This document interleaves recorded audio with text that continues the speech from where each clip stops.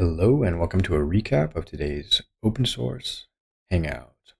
Today we've been looking at some community contributions for two open source projects here on GitHub.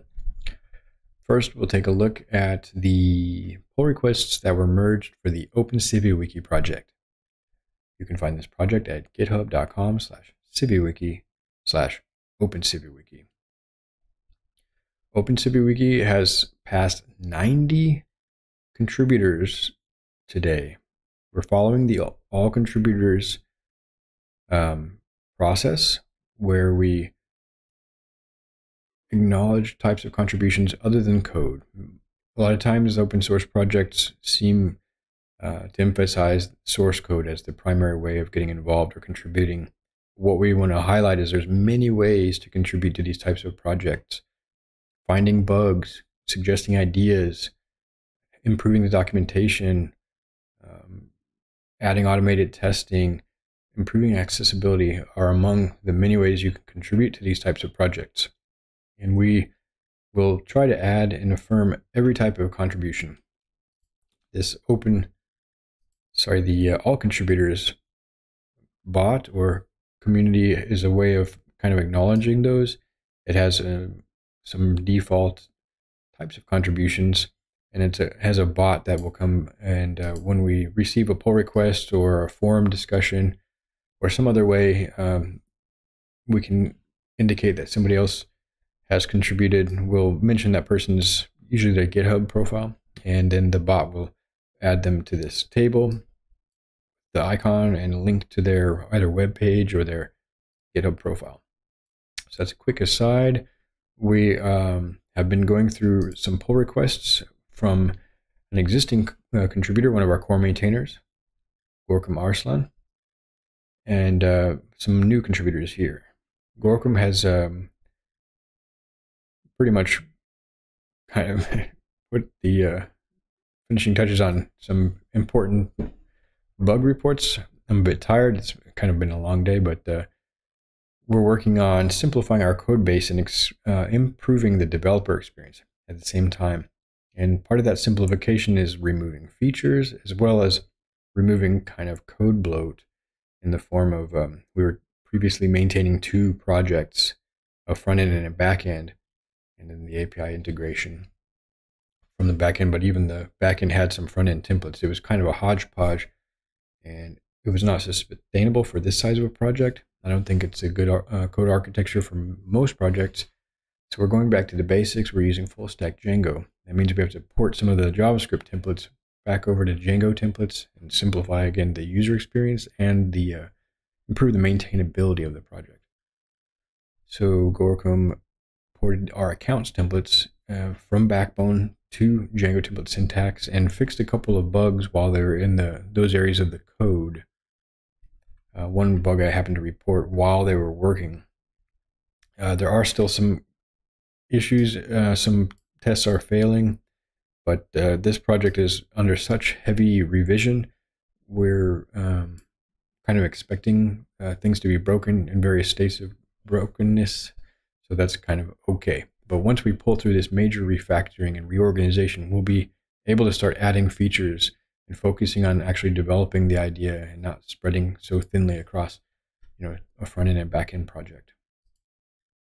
We have a new contributor, Mazen Ramadan, who has graciously improved our contributing guide by adding instructions for resolving conflicts, specifically with our poetry package manager.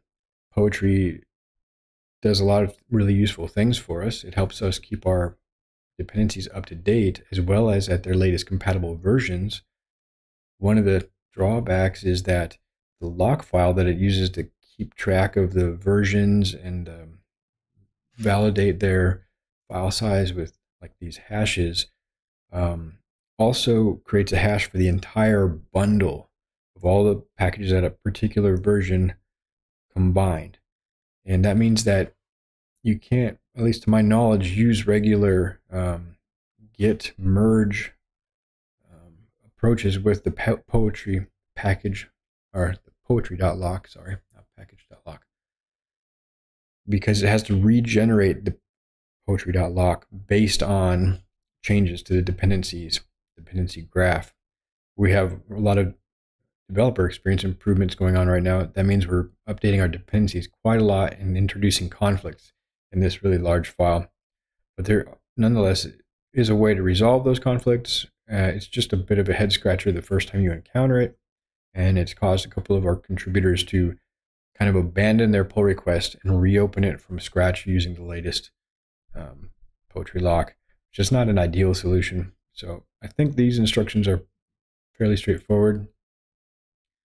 And we can refer contributors to those. Hopefully, there will be some resolution to this in the broader poetry ecosystem because I don't think it's unique to our project.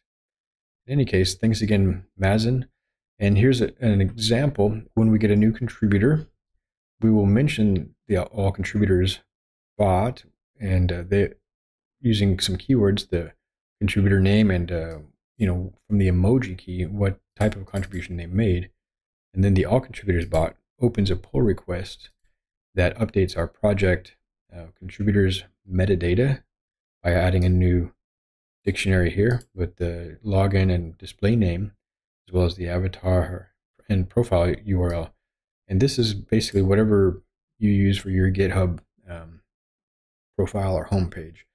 If that's not defined, then it'll just use your GitHub profile page, as well as an, uh, an array or a list here of the types of contributions. Then it updates some HTML, uh, increments the contributor count badge, and creates uh, maintains this alphabetized list of contrib uh, contributors. We don't want to necessarily uh, sort this uh, what you say chronologically. We're just alphabetically seems to make more sense in an egalitarian way. Okay, let's continue onward.